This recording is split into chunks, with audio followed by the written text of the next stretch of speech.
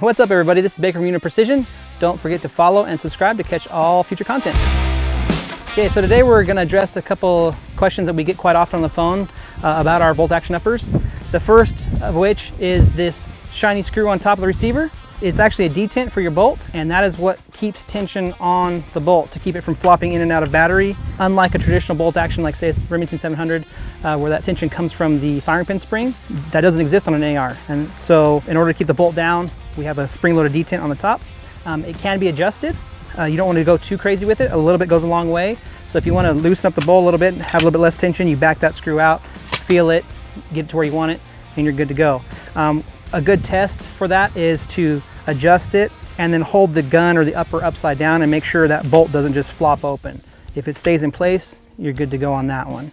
Another question we get quite a bit is, do I need to lubricate the upper? Yeah, just like any other firearm, you're gonna put some lubrication on there.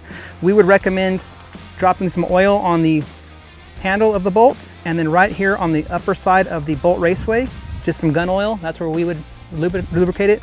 And then I like to put some just on, on the rear of the, uh, the bolt face up here. It'll slick everything up and then keep everything protected.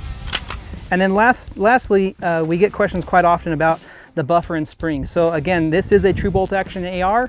It is an AR lower, um, AR fire control group. Um, if you have a buffer and spring in there, you can run it with or without it. You can run the upper with or without it.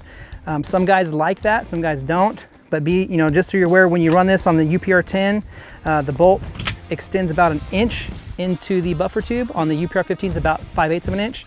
So if you do have a buffer and spring in there, you are gonna feel that last, that last little bit of bolt play there. It's gonna compress that spring, you're gonna feel it. When you let go, it will assist forward. That is not how you wanna load this gun. You wanna run it manually but you can you can keep the buffer and spring in there. Some guys like it, some guys don't. So we recommend that you actually try it both ways and see which way you like it. It's not gonna hurt anything either way. And that's it. If you have any other questions, drop them in the comments down below. Thanks for watching today. If you are interested in our products, check them out at uintahprecision.com.